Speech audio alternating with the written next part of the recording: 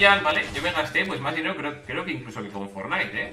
Con Clash Royale a lo mejor me gasté en los meses que estuve jugando unos, vamos a poner, esto lo llevo, 4.000 euros, ¿vale? En el juego, que bueno, yo hacía contenido y me daba igual, vaya.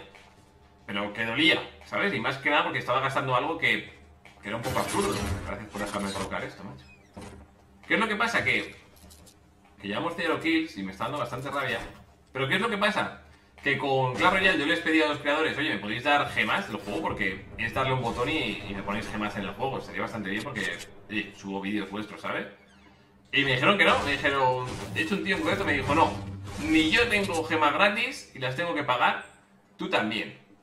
Y yo le dije, bueno, pero que, ¿sabes? Tú trabajas en la empresa, que ¿por qué vas a tener tu gema gratis, ¿sabes? Plan, yo estoy promocionando el juego. No, no, no, no, no. Pues ahora, pues muy bien. Y así les ha pasado, que al final eh, se han enfadado todos los que hacían vídeos con ellos, porque el trato era, bueno, son muy raros, la verdad. Pero el trato que tenían, pues no era el mejor, la verdad.